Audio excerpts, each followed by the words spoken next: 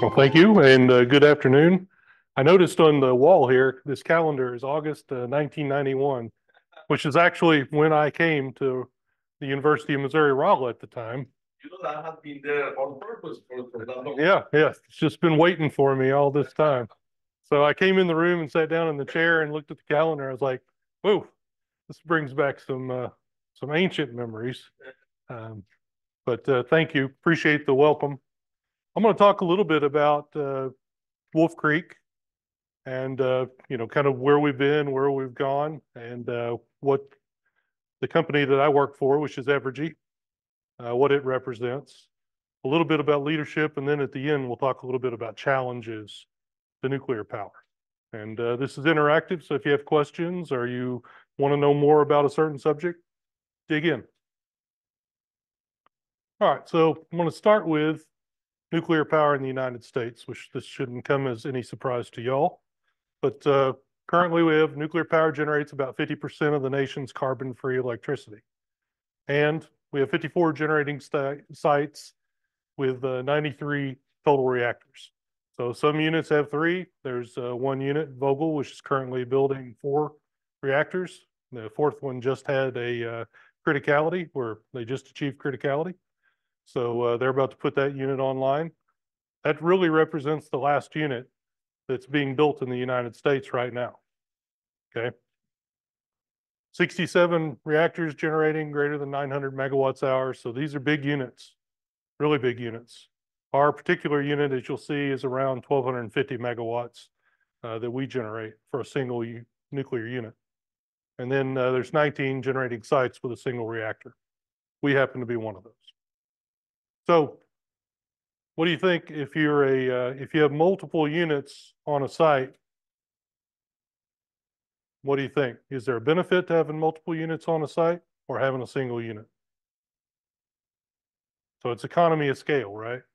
The more you have on your site, I mean, yes, you may need more people, but you can actually get a lower, you know, cost per person across the board. So typically those generating sites that have three units can achieve better cost performance than a single nuclear unit site. But not always. But in many cases, they can just from sheer, uh, you know, being able to benefit from that economics. So Wolf Creek, uh, we are Kansas's only nuclear generating station. So here's a picture from kind of back in the day.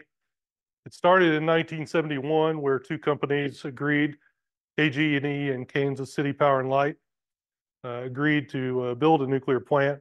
1977, we had a final construction permit, and then in 1981, KEPCO, which is a uh, Kansas Electric Power Cooperatives. So they're a co-op that serves almost the entirety of, uh, of Kansas, bought 6%.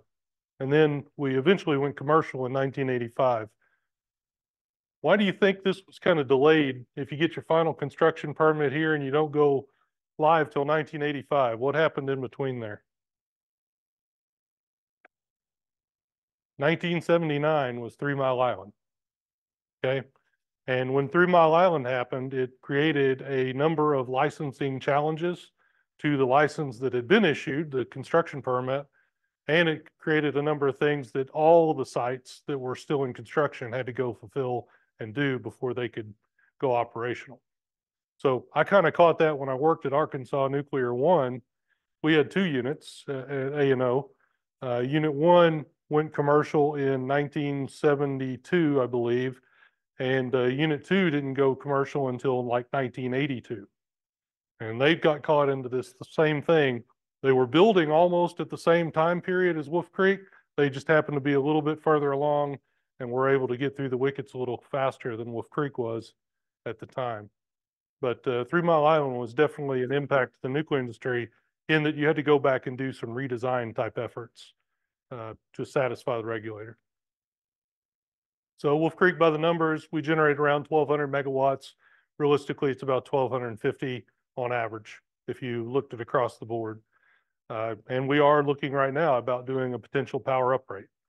You know, and uh, not a big one. I mean, we're not trying to do something that's uh, 10 or 20 percent, but uh, measurement uncertainty, uh, get better at the, uh, using ultrasonic flow meters to basically get another three to five percent. So that's something we're actively considering. We're located in Coffey County. We've been operational in nineteen eighty-five. We're currently licensed to twenty forty-five. And we are considering whether we should go in for a second license renewal. We'll probably make that decision around the twenty thirty time period. Right now, I mean, we've got a full twenty years in front of us. Uh, we're just about to enter the period of extended operation, which is twenty twenty-five through twenty forty-five. Uh, and the refueling outage that we're actually going to is kind of our last refueling outage before we enter that period of extended operation. So we've been working on this for about the last eight years to make sure all the testing, all the surveillances, all the requirements from a regulatory aspect are completed so that it's a clean entry into the period of extended operation. Go ahead. Regional license for sixty years, or it already went to its first license? We've already went through its first license. Yeah, it was licensed for forty years. And then we went for our first license renewal, got that from twenty twenty-five to twenty forty-five. And then, uh, now we're contemplating the second license renewal. And many, uh, many plants are actually doing this right now in the United States. Uh, and whenever I get to the back and I talk a little bit about the challenges of nuclear power, particularly with the regulator, um, one of those will be as all the existing nuclear units put in, you know, hey, we may want to do some power uprates, hey, we want, may want to do second license renewal, that is going to conflict with small modular reactor licensing. So, and, and it only goes through one place, right? And, and that's the Nuclear Regulatory Commission. So, uh, very easily that could, uh, that could represent kind of a log jam for everybody. And we're in operating cycle twenty-six, which means, you know, 26, 18 month cycles is, uh, what we've, what we're about to wrap up on and complete. And we're about to go into a refueling outage here in March. All right, so some other quick numbers, not going to cover everything on this. We represent about seventeen percent of the uh, total electricity generated in Kansas, just across the board. And then about eighty-nine Kansas counties receive Wolf Creek Power. As I mentioned, six percent owner of Wolf Creek is the Kansas Electric Power Cooperatives. And they cover all of the vast counties in Kansas that aren't very populated. So, you know, our power goes a long way whenever there's, you know, five thousand people in a total county, you know, out in uh, western Kansas in particular. This one is always uh, a proud moment for me, ten million safe work hours. Uh, we've achieved that a couple of times where we've been up to ten million or plus, ten million plus safe work hours, which is a pretty amazing accomplishment when you consider it's an industrial uh, work atmosphere with all the various hazards, you know, falling, tripping, et cetera, uh, beyond just electricity and other hazards. Uh, we're right now around eight and a half million and uh, coming up out of the outage, we'll probably be close to 10 million again.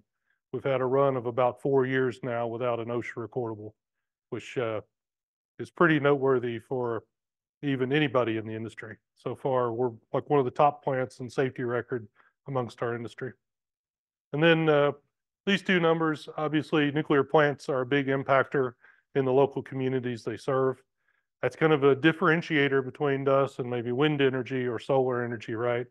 The investment in the community kind of comes when wind energy or solar energy builds that plant. Nuclear energy, it resides there and it continues to reside there through the payroll. So our impact through payroll and our impact through taxes are pretty vast for the communities we serve. And that's why the people in Coffey County would love us to build another unit. I mean, they'll, the mayor comes to my, uh, you know, any kind of meetings we have with the Nuclear Regulatory Commission or public meetings, and they're constantly like, hey, when are you gonna build another unit at Wolf Creek? And, uh, when I was at Arkansas Nuclear One, that used to be my favorite time was the, uh, NRC typically holds public meetings. And it's not really for the licensee to talk at the public meetings. We will if we need to, to, you know, to help the regulator or to, you know, make sure that we keep things, you know, accurate and, and factual. Um, but they used to be the question that they would ask the NRC every day. Or we, would have a public meeting, the mayor would get up from Russellville, Arkansas and say, why haven't you let these guys build a nuclear power station, uh, another nuclear power station at Arkansas? which is a great feeling. I mean, that's true community support, right? They, they want, they know nuclear and they want more of it. So this, uh, hopefully it'll work. I'm gonna kind of roll through the first couple of minutes and just give you a little discussion. Mm, let's see, it does. Let me see. All right, well, I'll skip the, I'll skip the tour part. Okay, Yes. Yeah. So funny. Sound. Oh, there we go.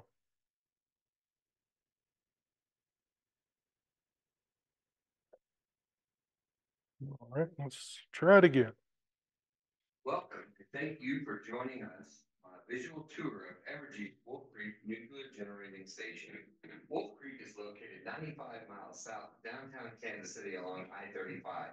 In the heart of Coffey County, the site's location is nestled in between the cities of New Burlington, and Leroy. Built along the edge of what will eventually be Coffey County Lake, the plant's property spans over ten thousand five hundred acres.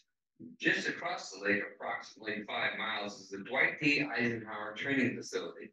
And finally, as we travel just seven miles north along I seventy-five, you'll find our emergency response facility recently constructed to help with emergency responses in our region.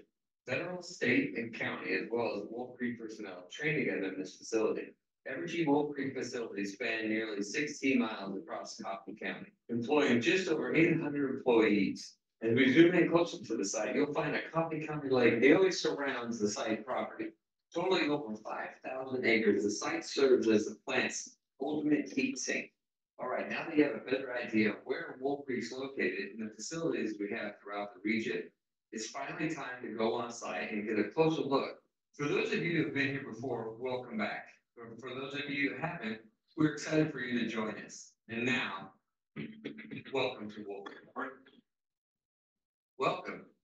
So I'll just uh stop it there and uh, you know, we may play the other in the back part, but you know, it's a, it's a good introduction. We have a full communication staff at uh, at Evergy that works for our overall corporation that can put together videos and things like this.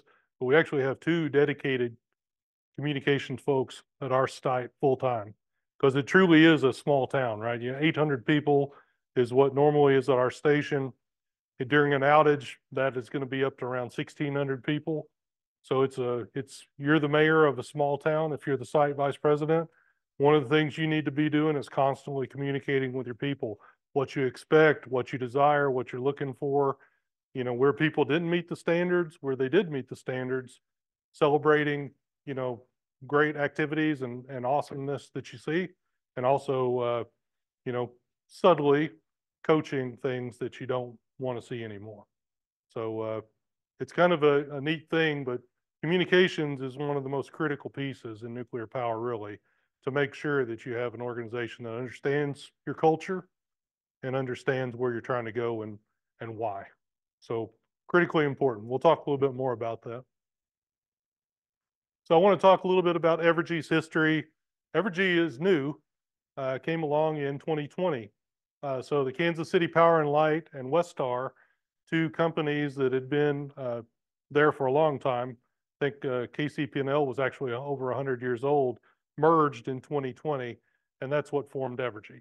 And then Wolf Creek, uh, both of those companies, Kansas City Power and Light and and uh, Westar, own 47% each of Evergy or of Wolf Creek.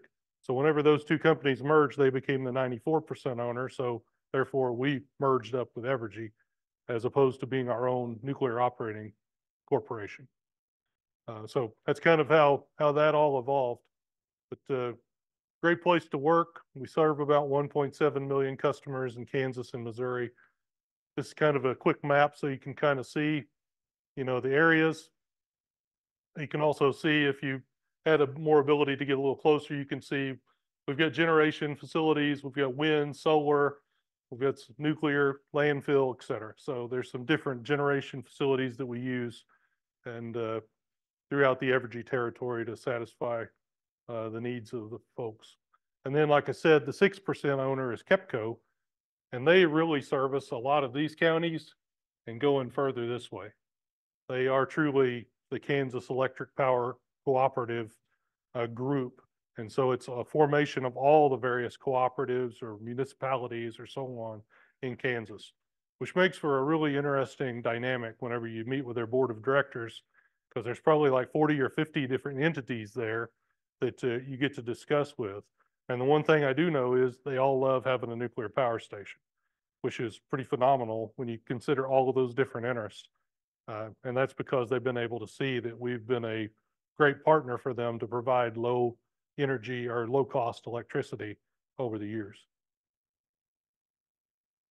So as I said, one point seven million customers. That's kind of our fifteen thousand four hundred megawatts of own generation. Uh, we've got a number of renewables. And you can see the miles of transmission because Kansas and Missouri are pretty big states, right? So there's uh, quite a bit of electric line out there. This is uh, kind of what I mentioned before about the energy mix. If you look here in 2005, you can see almost, you know, you had 38% natural gas and oil, you had 52% coal. So we were like dominated 90% by coal, fossil energy, right? And you can see over, you know, over the time, we've slowly but surely tried to transition more and more to letting wind energy fill a lot of that.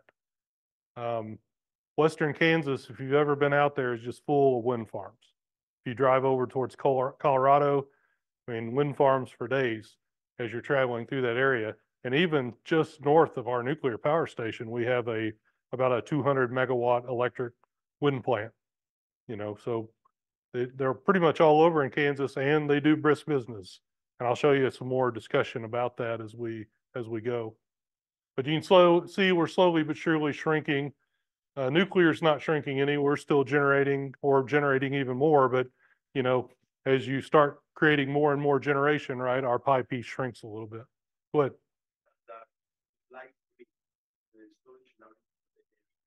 Yes, this over here. Yeah, so this is uh what I would call the uh, let's just call it, we're cheating because we don't know what that's gonna be in the future. Is it batteries? Is it small modular reactors? You know, new nuclear? That's what that really represents is enabling technology or or electrical storage. Uh, there was just a plant in California that went online, big solar plant, about two hundred and fifty megawatts or four, no, it's four hundred megawatts of solar, I believe. And it had uh, something like twelve thousand megawatt hours of capacity in batteries. So pretty big battery storage. But now everybody's wondering about how long is that going to last? Right? How long do your batteries stay good for? You know, that, that is an unanswered question out there. I mean, there's a lot of research been done, but nobody's really done it. So you kind of have to uh, wait and see what the proof in the pudding is. But these are kind of our rough estimated of where we think we're going to go. Slowly but surely, we want to shrink coal. We'll probably keep gas because gas is great from a peaking aspect and generally cleaner than, uh, than coal. But we do want to shrink coal and then this nineteen percent, as I said, represents where new nuclear would fit in into the Evergy portfolio. As I discussed, Evergy is about a fifteen billion dollar market cap. And so we're probably not going to be one of the first movers when it comes to small modular reactors or that sort of thing. What we need to see is what's the price point. Uh, as these small modular reactors get built, you build a couple of them and all of a sudden you'll establish what is the economics of them versus the megawatts produced. That's what's going to determine smaller organizations like Evergy, fifteen billion or Ameren, to make a decision on, yes, we want small modular reactors. So right now in our, in our uh, long-term plans and where we're looking in the future, that's why we call it enabling technology. You know, is that fusion? Is it small modular reactors? Is it battery technology? We don't know, but we want to hold that open for one of those enabling technologies.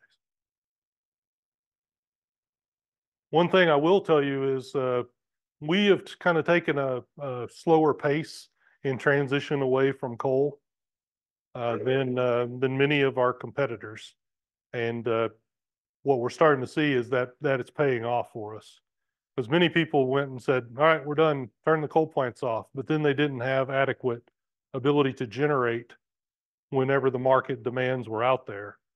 Uh, whereas we didn't have any problems. So if you saw the winter storm that happened this year, even though our coal plants were froze up a little bit and I, I feel kind of bad for our guys out there in the generation facilities. They were out there with literally with shovels and uh, pickaxes and uh, and sledgehammers and breaking apart the coal pile so that they could put it in there. Other than that, we were able to safely and successfully navigate that without issue. And of course, the nuclear plant ran at hundred percent without issue all the way throughout the cold period. So one of the things, uh, Winter Storm Uri happened a couple years ago. We ran through that without any issue at all. That's really the benefit of nuclear power is it has a natural resilience to climate change issues and concerns. Not to say completely, right? We depend on water to cool our reactors. So if you have a, a climate induced drought or something like that, you could very well find yourself into trouble. But, uh, cold weather, that's not really that big of a deal. Hot weather even, not really that big of a deal for current nuclear power, power plant designs. So I want to talk just a little bit about Wolf Creek. I'm, uh, I'm pretty proud about Wolf Creek. Uh, I've been there about ten years now. Uh, before that, I was, uh, sixteen years with Arkansas Nuclear One, for, worked for Entergy. Uh, the only thing that I don't like about Evergy really is because I used to work for Entergy and then we knew, named the new company Evergy. And I have a really hard time saying that, uh, back and forth. Um, that's about my only gripe about the whole situation. Um, but I've really enjoyed my time at Wolf Creek. I can tell you when, when I came to Wolf Creek, we weren't performing great. It wasn't a great culture. We weren't performing well. Um, great people, but they needed a lot of leadership. They needed a culture change and they needed to be able to believe that they could perform at a high level. And so over the last ten years, that's what we've been working on uh, between uh, Adam Heflin, Cleve Reasoner, and myself, uh, and many others who work work for us and with us. Uh, we've been able to successfully move the station in a positive direction. Realistically, same people who were there when our performance wasn't so good are the same performance, same people who are there now who are performing at an excellent level and have performed excellently for about the last six, seven years. So sometimes it just takes leadership and uh, change of a culture and getting people to believe that uh, they can perform at a high level. So we always start at Wolf Creek with people are our most valuable resource. They truly are. Uh, if you look at nuclear power, sure, there's a lot of procedures, sure, there's a lot of regulation, sure, there's all sorts of interesting things about the technology. It is pretty unique and special, and you got to respect all that. But it's ultimately the people. The people are the difference maker.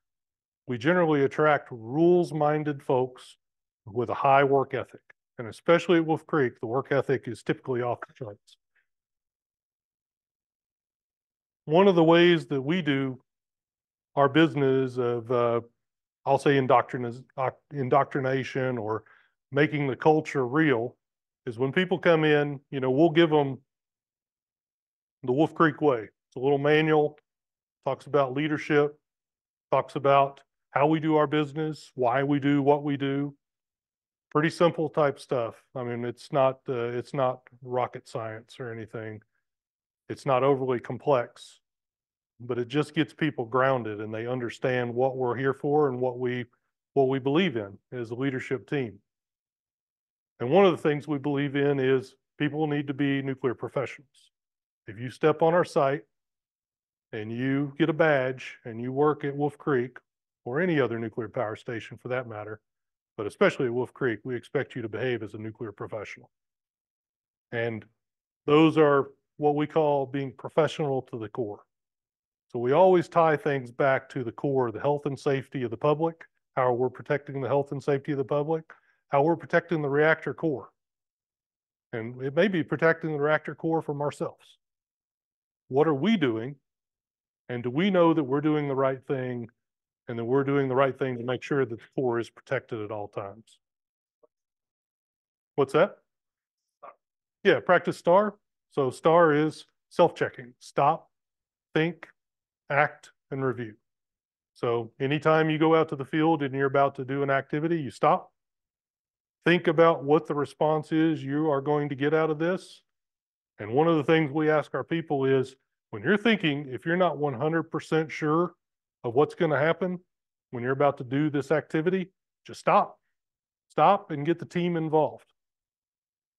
Because one of the things we found in nuclear power, uh, in many cases, and even when Wolf Creek wasn't performing quite as well as it is now, is people would be like, I'm pretty sure I know.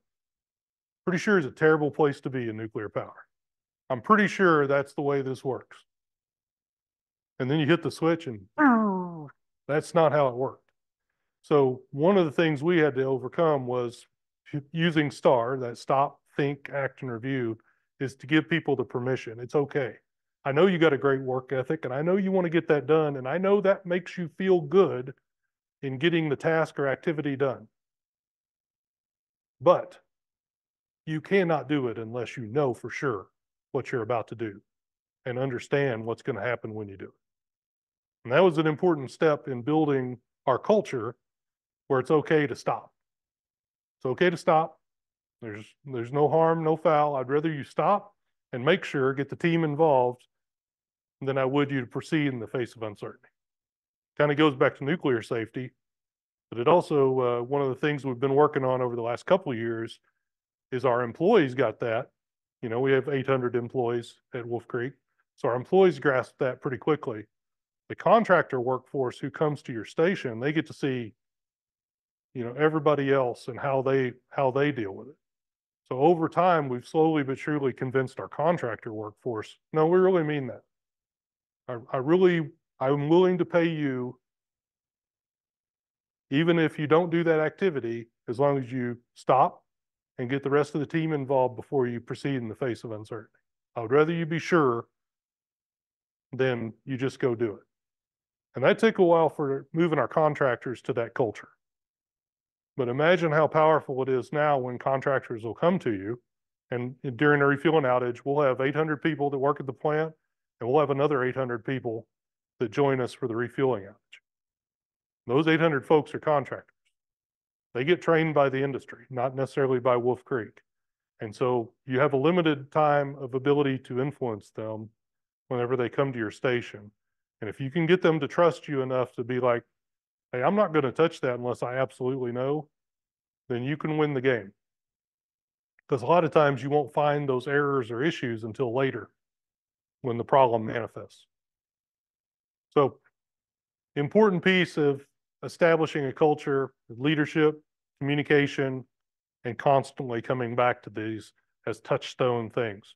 So we just, uh, for example, this professional decor or tenets of a nuclear professional, we just celebrated that again in October of, of last year. We did a big expo. We had the whole station out, fed everybody barbecue. There were like 40 booths that people went through on each one of those bullets up there. And our people taught each other what it means to be a nuclear professional. Pretty cool. One of the things in nuclear power you'll see is uh, a huge push on is sustainability. If you look at the current uh, nuclear power stations, when I told you before, there's you know 53 of us out there, uh, 53 generating facilities, you know, out in the industry right now. We're at the highest level of performance we've ever been at. Okay, so not in the 90s, not in the 2000s, not in the 2010s, in the 2020s, highest level performance the nuclear industry has ever been at in the United States. I mean, just absolutely crushing it for the most part at all of our reactors. Where we're going now is how do we bake that in so it's sustainable, that it continues, that you generate this culture of continuous improvement where you you want to get better and better day after day and keep working that equation. And so that's one of the many things that we're working on at our station. I mean, we've been performing very well for at least the last five, six, seven years. How do we now create that to where it's a decade or two decades? Where people come in and they have a full career and the only thing they know is excellent operations. That's what we're after. So we got the refueling twenty-six coming up. As I said, that's a true proof in the pudding moment. So you can talk all the talk, but you really get to walk the walk whenever you're in refueling outage. Cause, uh, you got 40, 42 days is what our, uh, schedule is gonna be for our refueling outage. And it's, uh, it's gonna be a challenge. I got a couple of videos. I'll see if these work. So you may or may not have seen this before, but this is, uh, the reactor, lifting of the reactor vessel head and moving it over to the stand. Now, obviously, that's a lot faster, you know, than we actually do it. Uh, sped up quite a bit. Yeah. Well, no, in this case, the the fuel is still down here. So you gotta take the reactor vessel head off. And then you'll flood up. So you'll see here in a minute. So that's the reactor vessel head coming off. Yep. And here's kind of a refueling. So after you take the reactor vessel head up, you're able to flood all the water into the refueling canal. Uh, twenty-three feet. And then uh, grab an assembly out of the reactor core, take it over to the transfer station. You know, it goes into the upender, the upender goes down, goes through a tube over to our spent fuel pool, upends it back up, and then we put it into the spent fuel pool.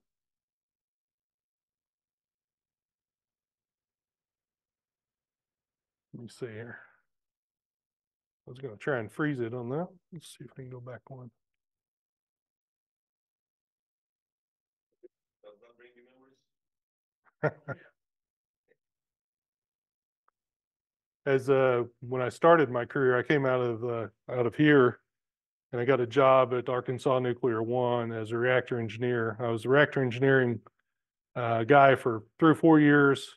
And uh I did quite a bit of this same thing, riding the bridge, taking the fuel out, you know, taking the fuel over the spent fuel pool, taking a camera and reading all the serial numbers, looking for uh fuel failures, uh taking fuel assemblies apart where you uh, had vendors in, they would help you take the fuel assemblies apart because you may have had a fuel failure or something like that. And you had to go find the, the rod that was failed. And it was always exciting. Go ahead. Why is it blue? It's really just uh, kind of the depth of water and lights we use. Yeah. I think we just like the blue because, you know, once you look down in the core, you get to see the Cherenkov radiation. So, you know, we like to keep it kind of the same kind of theme.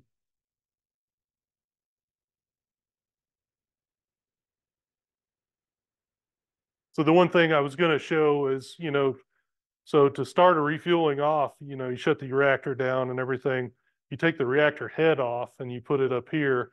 And then you have this, which is called your upper internals, which sits on top of the fuel. And that's where control components, that sort of thing goes down through the reactor vessel head. So you got to take that off, set that someplace, which happens to be right there. So important, couple of important cycles of lifts and heavy ones too. I mean, the reactor vessel head is a lot of weight. Right, so it- it- that is uh, what we call an infrequently performed test and ev- test or evolution. Cause it's, I won't say it's high risk, but I mean, you're lifting a tremendous amount of weight and everything needs to be perfect. As you're also suspending a huge amount of dose in the air. I mean, that is directly, you know, the bottom part of it is obviously directly in line with your reactor coolant system. So as you pull that up and move it over there, the dose is pretty high. You want to make sure you control it in all ways.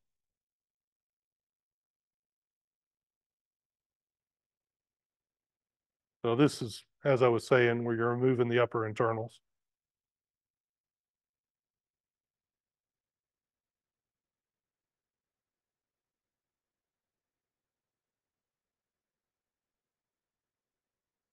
The one we won't show you on this is you also have to pull occasionally your core barrel. So the core barrel is actually what your fuel resides in during normal operation, right? So occasionally you have to pull the core barrel for uh, ISI inspections. Or uh, right now, there's OE out in the industry where there's been some cracking of core barrel welds and that sort of thing in other plants. Robinson in particular has had a recent issue with that. And the nuclear industry, I mean, we survive on operating experience, right? If one plant has it, uh, we'll go to the PWR owners group or we'll go to uh, NEI or the EPRI and they will do the research on that from a metallurgical aspect and then come back and say, you know, sorry, you need to pull your core barrel and uh, take a look at that to see if you're susceptible.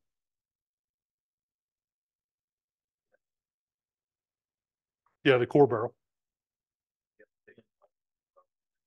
Absolutely. So right here is the core, is the pulling of the core barrel. So yeah, you gotta take all the fuel out. And then you gotta pull the entire core barrel. And at that point, you can see all the way to the bottom of the reactor vessel, right?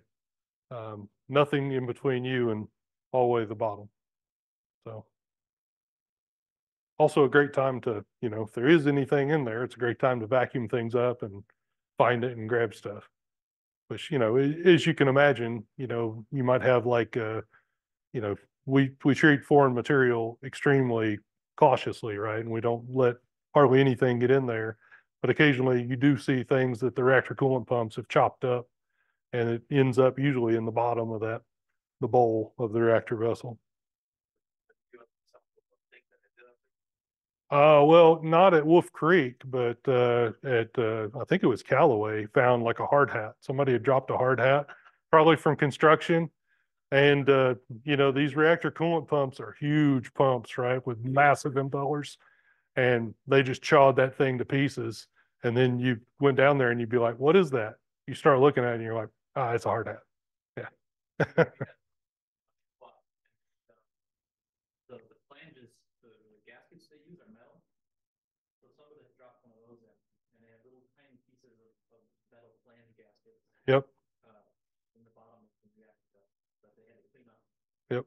We've actually seen that at ours. We had, uh, when they're like spiral wound gaskets. And, uh, those spiral wound gaskets, uh, you know, this is a kind of a problem about ten years ago. But they can kind of come loose and, and most of the time, they're not going to come loose and get in your system. But every once in a while, they got loose and went down the pipe. And then as soon as they got to a pump, right, chop, chop, chop, just chops it right up and sends it wherever it's going to be. So, I mean, from a foreign material aspect, that's something we look really hard about because we don't, we don't want to have any fuel failures in our reactors. All right, so I'm going to talk just briefly about this. So, you know, I talked about our drive to excellence and uh, how we were able to to do that at Wolf Creek. Well, at the same time, we've also been cutting cost and getting more economical.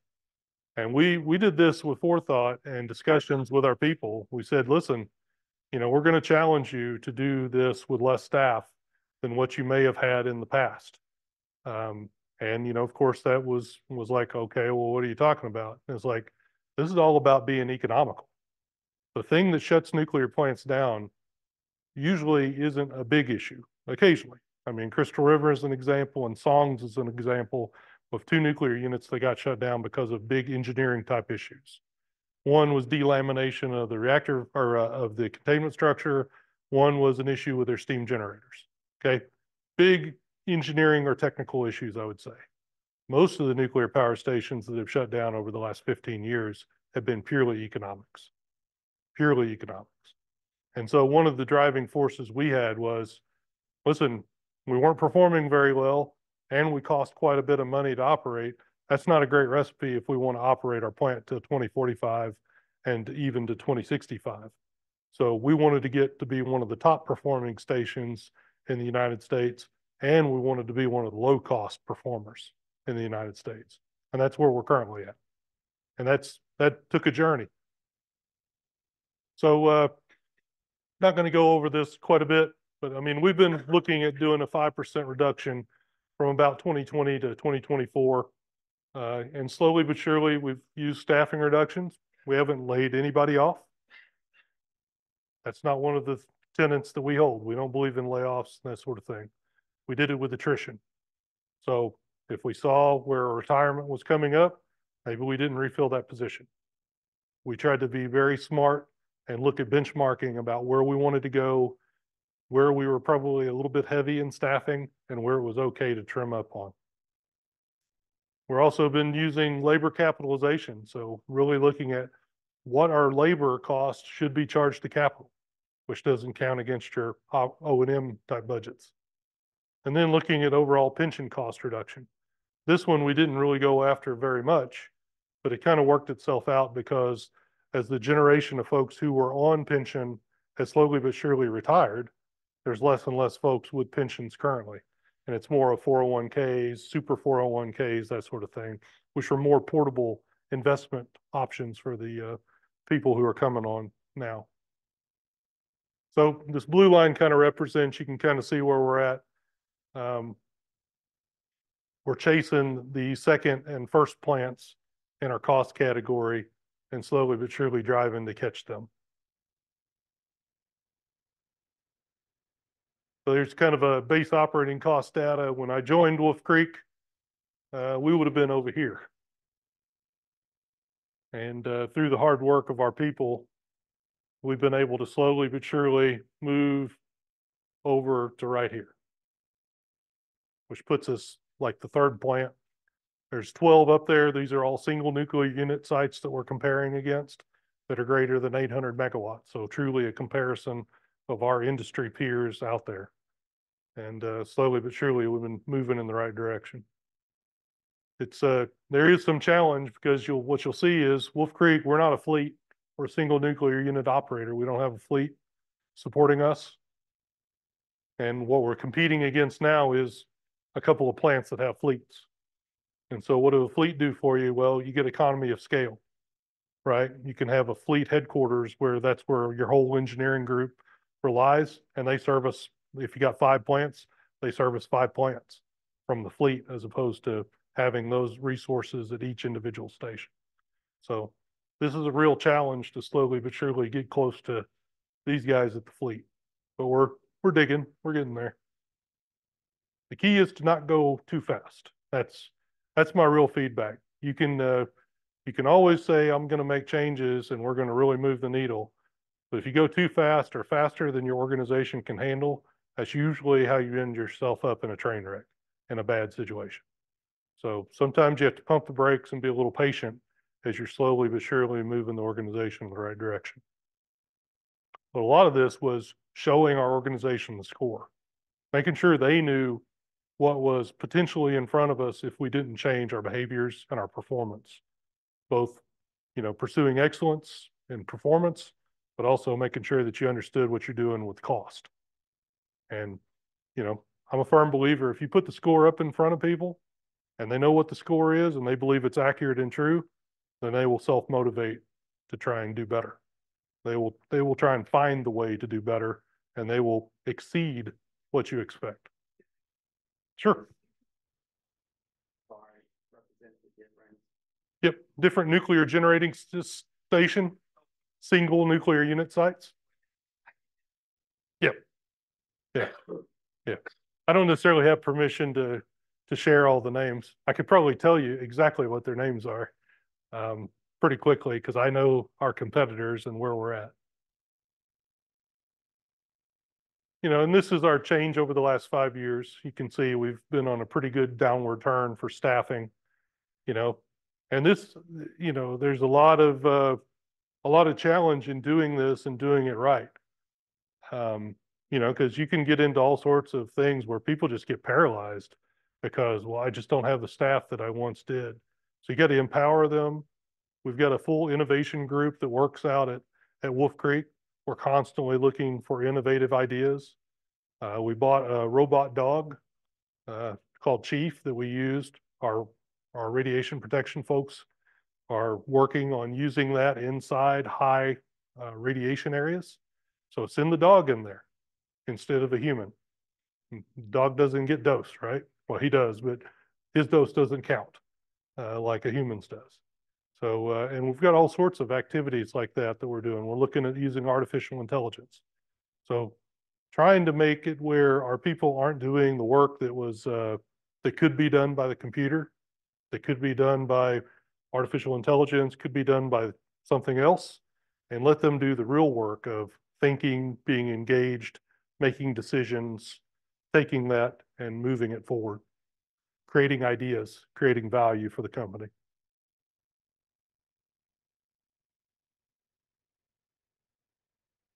So again, you know, where are we at or, you know, where were we at, uh, 10, 11 years ago? Uh, when we first came in, we were fourth quartile in performance. I mean, if you looked at almost any metrics or any performance across the board, we were fourth quartile. Uh, it was a little bit dire at Wolf Creek, and we were definitely fourth quartile in cost performance.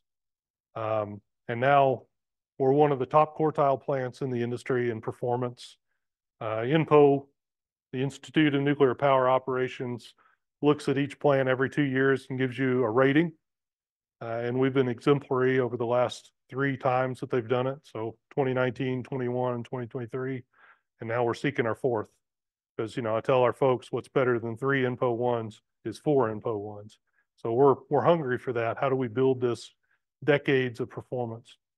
Uh, we had an international uh, OSART team uh, come in and uh, give us a review. So that was uh, Interna- uh, International Atomic Energy Agency. They only do that to nuclear plants in the United States about once every four years. So we were honored to be chosen for that, have them come in and give us a good scrub.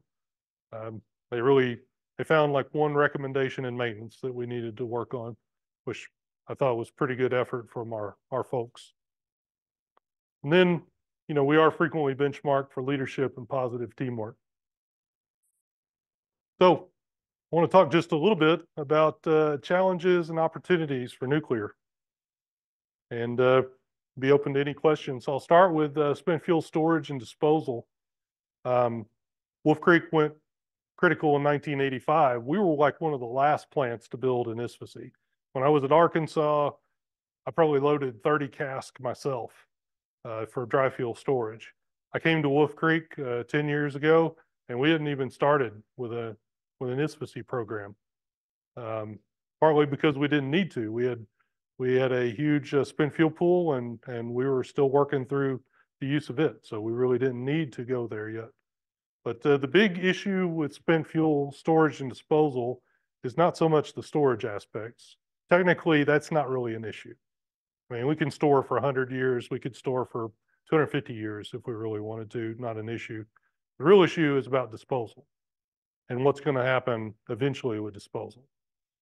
So uh, I'll tell you, the United States government has a contract with every nuclear plant in existence in the United States. And that was supposed to happen in uh, 1988 was when everybody entered the contract with the uh, federal government and we all started paying into this fund. And then in 1998, they were supposed to start picking up our fuel. Anybody want to hazard a guess as to how much fuel has been picked up so far? Yeah. So, you know, and is this a technical problem? I say no, it's not a technical problem. This is a political problem.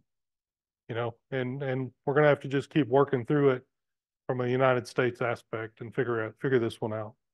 So we have built our own ISFSI.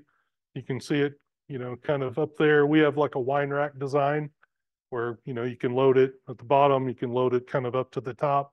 And uh, we're the first one to build that wine rack design, uh, licensed it through Framatome or Orano. But This storage Mm. site. Banks or DOE helping? Well, um, the way it works is we pay for it, and then we get reimbursed by the DOE from the fund. And you basically get reimbursed about ninety-four percent of the amount of money you invest, roughly. I mean, if you really look at the, the ins and outs of it, you get about ninety-four percent back. So it's a capital investment. We invest capital in it, build the structure, and then through the, uh, through the Department of Energy, we get about ninety-four percent back. And that's kind of a settlement deal that we've worked with the Department of Energy to get that level. When I worked for Entergy, uh, one of the things I got to do was go and testify in federal court multiple times because we basically, Entergy sued the federal government for breach of contract. And uh, we were able to get, you know, pretty good amount of money back.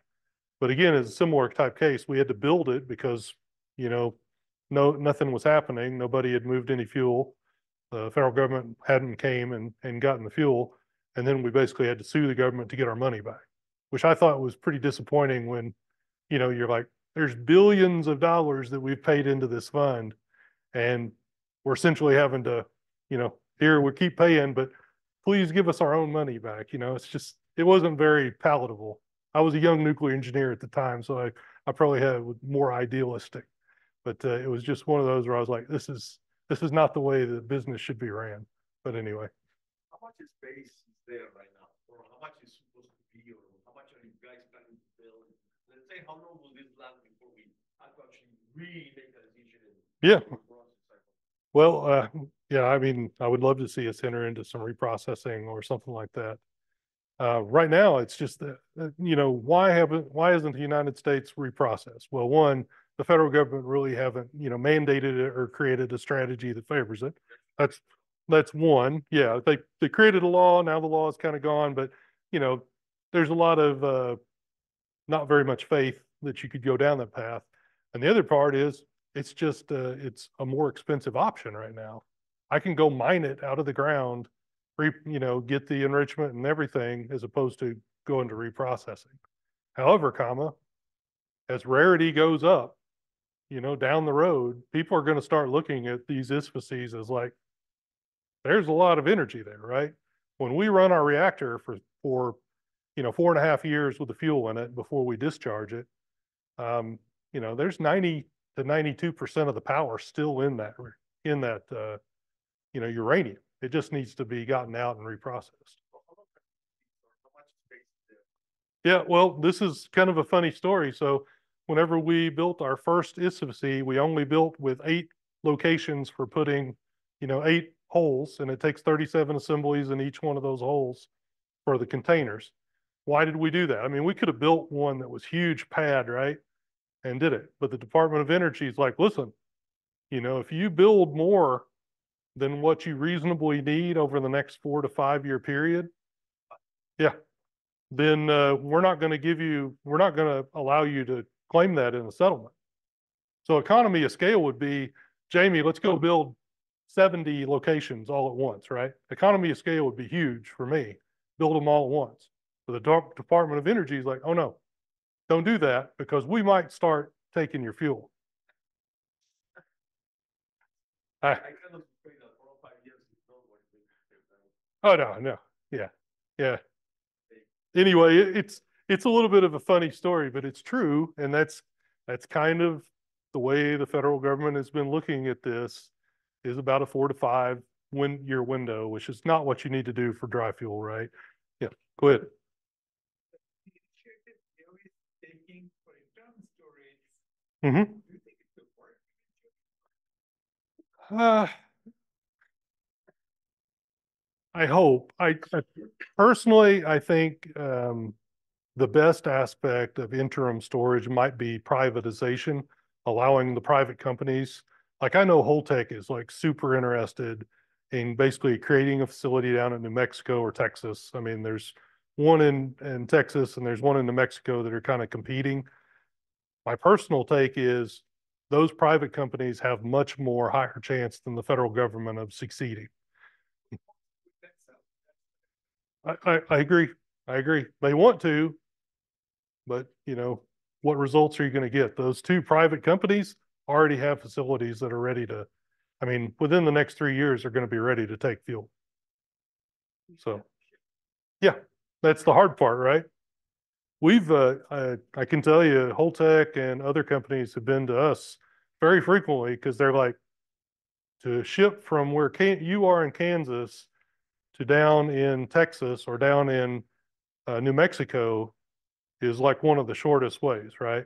Like they're looking at South Texas Project Plant, Comanche Peak, and then us because we're like one of the closest plants and minimum number of states that you have to kind of go through.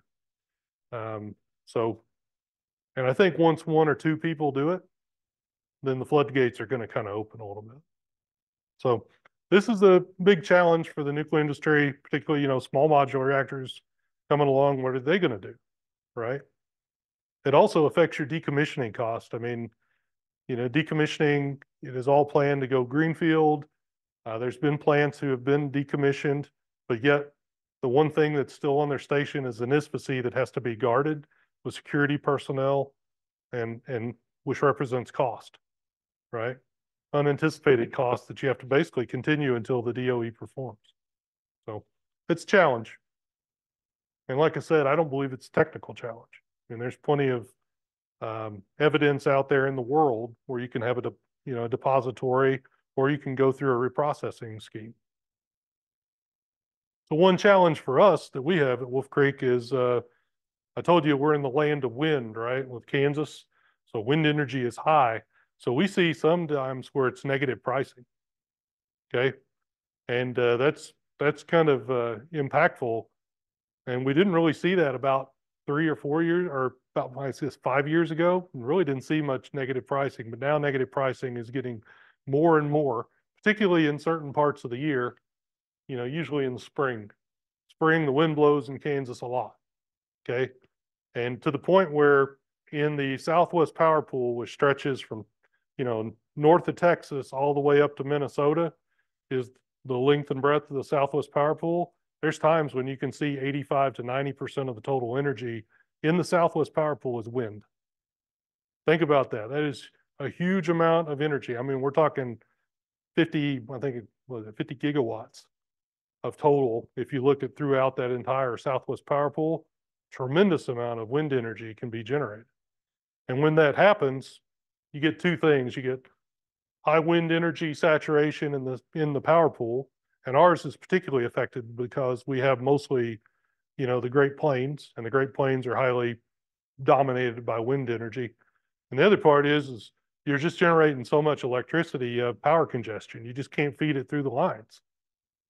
You know, these, what's that?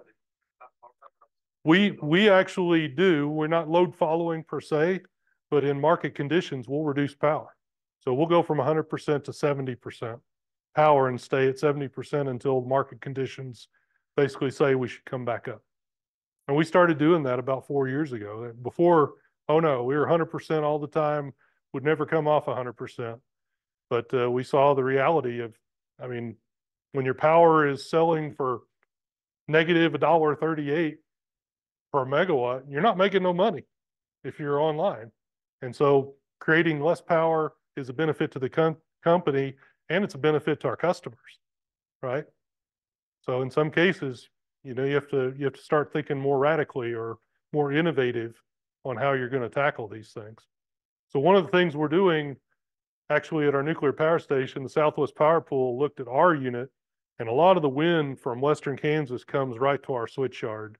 And then, of course, we add our twelve hundred and fifty megawatts on it and it just creates this big lump of electricity that has to start traveling out through the lines. So Southwest Power Pool is looking about putting another huge power line in, one of our three hundred forty-five KV power lines from our plant going down to Springfield, Missouri, essentially. We call it the Blackberry line. So that's about to go in. We're interested because when we've seen another line go in in other locations, a lot of this negative pricing clears up instantly because now the power can flow again. But wind energy, when it really starts getting after it, I mean, you can see all of the costs in the entire area. The so, you know, the uh, wind and solar, not too bad affected. Coal plants, gas plants, everybody is, you know, just getting hit by negative pricing at the time. That's pretty price. Sort of. Has that fifteen dollar megawatt hour, uh, tax credit factored into your plan for any of that? Is something we're looking at. I mean, with that, we may need to do less flex or less going down to seventy percent. I mean, it got passed in Congress, but it really hasn't fully rolled out of, uh, you know, kind of the committees as to define who gets it and when do you get it and all that. So we're kind of still waiting. Uh, we've got a number of lawyers and tax experts just ready. We're ready to go. But, uh, we'll see. Which, like, what, what's happening with that negative money? Like, you guys are paying? Well, I mean, essentially, you kind of have to pay somebody to take your megawatts. So you don't, you know, during that time period, you don't want to generate too many megawatts if you can. You know, seventy percent. I don't know, like, uh, yeah, the reason, yeah, I mean, uh, you could go down further. Seventy percent is a good, stable power regime for us. Uh, you know, we look at, we don't want to go to, you know, thirty-five percent is a terrible place for most nuclear power stations. It's where you're, you're coming off of startup or low load main feed reg valves or two main feed reg valves. And so it's just a bad place of instability. So we wanted to avoid that. Seventy percent, you don't take any of your major equipment off. You can just hang out at seventy percent generally indefinitely without any issue. One of the things we've been doing a lot of research on and studies is we've been going up and down now for about three and a half, four years. That's enough to give us evidence as to have we caused some kind of damage mechanism or caused some kind of issue on our components.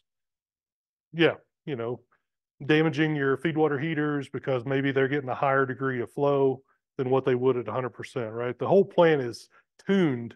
Every nuclear power station is tuned at hundred percent precisely, right? I mean, we have people crawling over the plant. We tune it to a, to a, a gnat's eyelash of performance. But then when you get off of that from seventy percent, it is not tuned very well at, at different power levels. So that's what you worry is equipment reliability wise. So this is a challenge kind of more for us, like Ameren uh, and Callaway Nuclear Power Station here in Missouri, up in uh, you know just north of here, right? They don't really have this issue because wind energy isn't infiltrating their market as much. They're starting to see it more and more because wind energy is starting to become more prevalent in the uh, upper regions of uh, MISO where they're at, where the power group that they're in. But uh, slowly but surely, they're starting to become aware of it, but they're not seeing it to the level we are. So kind of depends on where you live and where you operate. So then the last is uh, new nuclear, the challenge there. So, you know, as I said before, is Evergy interested in new nuclear? The answer is yes, we are. But, uh, you know, when? We're not going to be like one of the first adopters of that. Uh, it's a $15 billion market cap. It's just one of those things that you could sink your company if you jump in too early and you're wrong, or the technology isn't the right fit for you, or you don't get the economics out of it that you expected. So what I see companies like Ameren, Evergy, kind of smaller mid-cap electric utilities, I see them kind of waiting for the bigger utilities to jump in and see where this thing goes. So TVAs, the Dukes out there, uh, Southern Power, uh, the Canadians are jumping in pretty heavily with small modular reactors. I think once you see that price point get established for this kind of uh, reactor and this amount of megawatts is this kind of cost point, I think that's where you'll see groups like Evergy and Ameren, those sort of plants jump in to uh, the small modular reactor game. So what is it? It represents a deal, real deal uh, challenge right now, even with our regulator.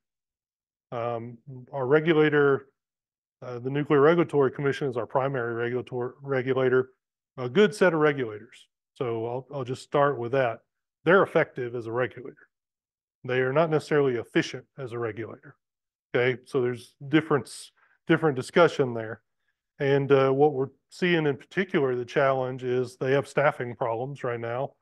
Uh, they're trying to staff back up and uh, they're having a tremendous amount of retirements in their organization and having to retrain people uh, pretty frequently.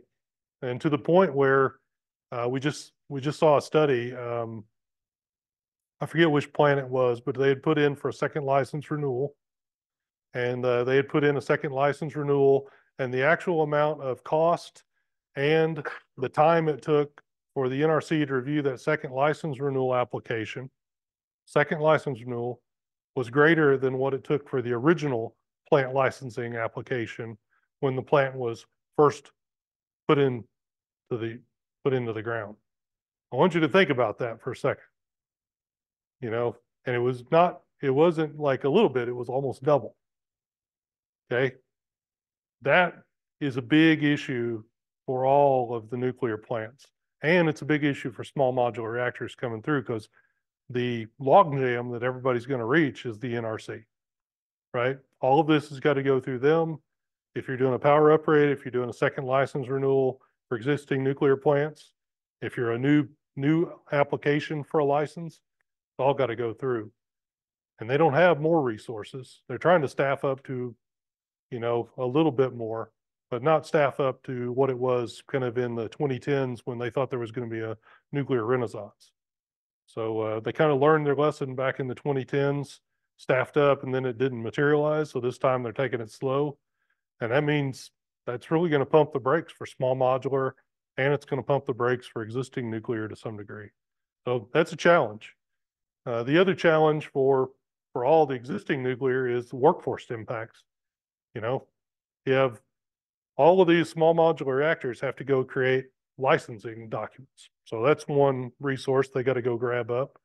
They got to create training documents. They got to go get operators who can operate the reactors and train the next generation for these small modular reactors. All of those folks generally come either are contractors or they come from existing nuclear units. So that represents a challenge to us as existing operators. So one of the things we're actually looking at is, you know, should we increase our staffing by, you know, let's say ten headcount? Uh, because we want to be ready for that. When people leave, we don't want to be like, well, we're bare bone staff. You know, let's go ahead and contemplate that, you know, people may leave and uh, go to the small modular reactor type business.